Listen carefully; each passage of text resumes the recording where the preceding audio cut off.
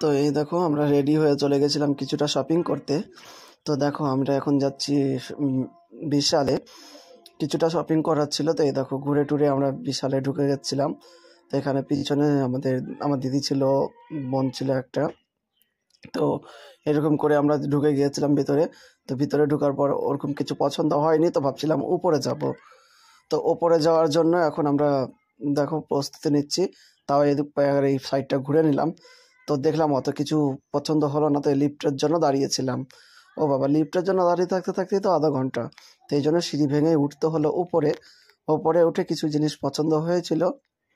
তো উপরে উঠে যে জিনিসগুলো পছন্দ হয়েছিল, তো সেগুলো নেওয়ার মতোই ছিল। তো এই দেখো, এই জিনিসটা নিয়ে ওরা খেলতে লেগেছিল। তো এখানে দারুণ দারুণ জিনিস ছিল। তোমরা সংসারে সব জিনিস পেয়ে যাবে। কেউ যদি কখনো সেপারেট হতে চাও, তো বিশালে চলে যাবে।